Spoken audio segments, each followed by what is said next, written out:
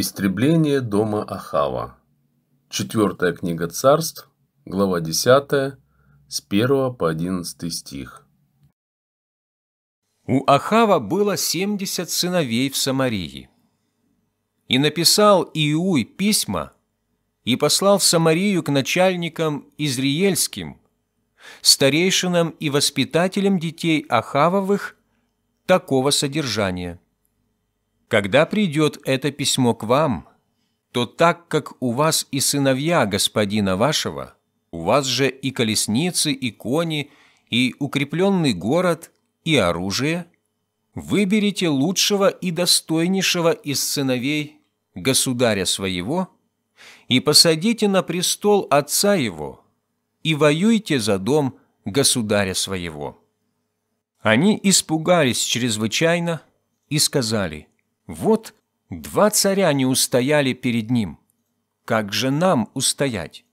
И послал начальствующий над домом царским и градоначальник, и старейшины, и воспитатели к Иуию сказать, «Мы рабы твои, и что скажешь нам, то и сделаем. Мы никого не поставим царем. Что угодно тебе, то и делай». И написал он к ним письмо во второй раз такое. «Если вы мои, и слову моему повинуетесь, то возьмите головы сыновей государя своего и придите ко мне завтра в это время в Изриель». Царских же сыновей было семьдесят человек, воспитывали их знатнейшие в городе. Когда пришло к ним письмо – они взяли царских сыновей и закололи их, семьдесят человек, и положили головы их в корзины и послали к нему в Изриель. И пришел посланный, и донес ему, и сказал, «Принесли головы сыновей царских».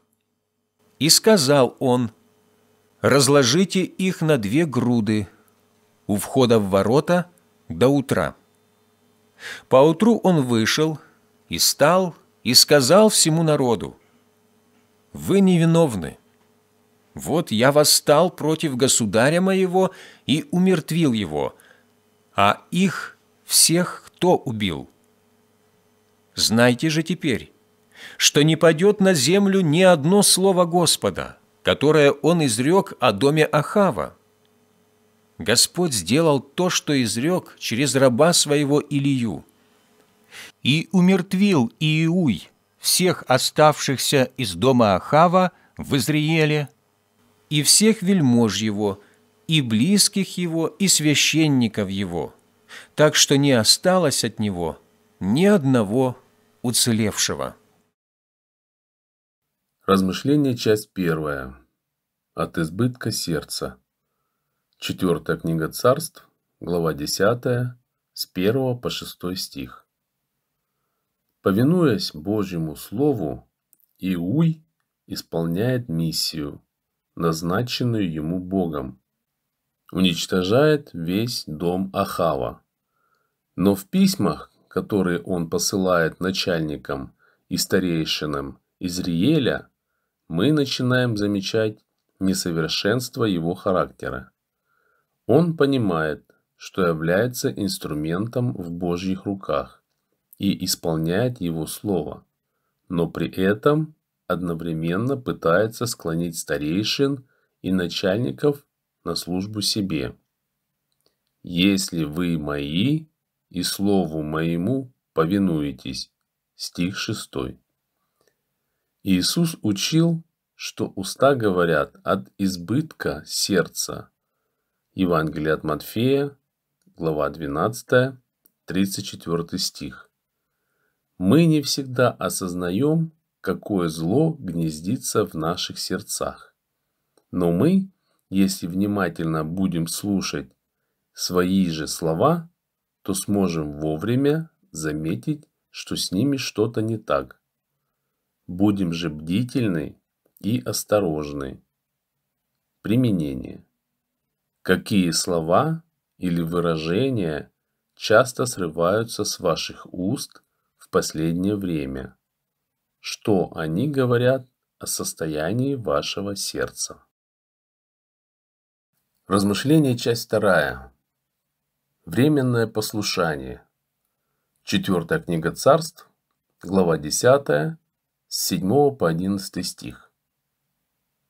Иуй не первый в истории Израиля, кому поручено исполнение суда и восстановление божественной справедливости. Но он также не первый и в том, что помимо основной миссии преследует еще и свои амбиции. Книга пророка Исаи, глава 10, с 5 по 11 стих. Его жестокие деяния говорят о желании сеять ужас. В его словах просматривается эгоизм и сосредоточенность на самом себе. Все это будет особенно заметно, когда он, желая сохранить политическое влияние, оставит поклонение золотым тельцам Иераваама. Четвертая книга царств, 10 глава, 29 стих. Иаков учит, что похоть рождает грех, и если с ним не бороться, то рождает смерть. Послание пророка Иакова, глава 1, 15 стих. Так что, заметив в себе греховное желание, мы должны извергнуть его из себя, пока оно не пустило корни и не привело к самому греху. Применение. Какие греховные желания вы все еще храните в своем сердце? Какие шаги вам нужно предпринять, чтобы вырвать их с корнем и избавиться от них. Молитва дня. Господь Бог, открой мне все, что Тебе не угодно во мне. Помоги мне не поддаваться искушению, самовозвышения и не кормить свою похоть. Я хочу всем сердцем слушаться Тебя одного. Во имя Иисуса Христа я молюсь. Аминь. Дорогие друзья, приглашаем присоединиться к медиакоманде издательства «Живая жизнь». Медиакоманда занимается развитием направлений YouTube-канал, телеграм-канал издательства, приложение «Тихое время», сайт издательства «Живая жизнь». Мы ищем служителей в команду для помощи в записи голоса для видеороликов, создание видеороликов «Тихое время», ведение телеграм-канала, поддержка приложения и поддержка сайта. Служение не занимает больше пары часов в месяц и участие возможно в любом удобном формате. Заявки вы можете присылать на телефон в описании. Мы будем ждать вас в команде для служения Господу. Мир Божий, дорогие друзья! У нас для вас прекрасные новости. Журнал «Живая жизнь» запустил приложение для вашего телефона. В этом приложении мы собрали план чтения на каждый день, помощь в понимании Библии, видеоразборы – и удобный формат для заметок.